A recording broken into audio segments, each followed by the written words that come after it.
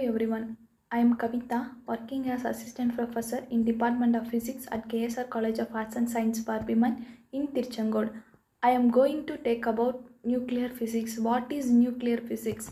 Nuclear physics is the field of physics that studies the atomic nucleus and their constitution and interactions.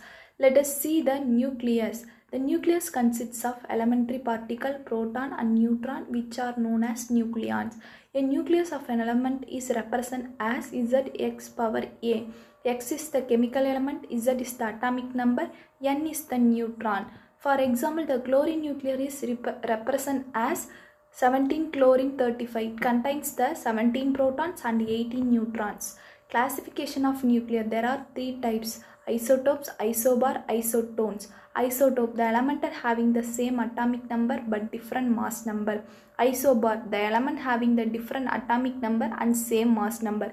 Example, oxygen and ni- nitrogen represent the two isobar. Isotones, isotones are atoms of different element having the same neutron. Carbon and oxygen are some example of neutrons. General properties of nuclear size.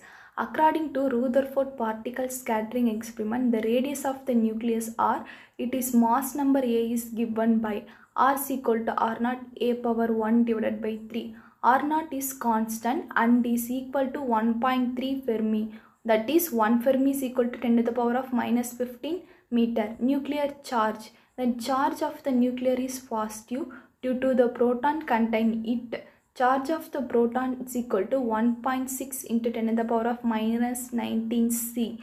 Z is the nuclear charge, Z is the atomic number. Two models of the nucleus will be discussed. One is the liquid drop model, another one is the shell model. Liquid drop model provides a good agreement with observed the nuclear binding energy. In liquid drop model, the force acting in the nucleus are assumed to be the analogical to the molecular forces in droplet of some liquid. This model was proposed by Niels Bohr, who observed that there are certain marked similarities between an atomic nucleus and the liquid drop model. The following similarities between nucleus and liquid drop. The nucleus is supposed to be a spherical in shape in the stable state, just the liquid drop is spherical due to the surface tension forces.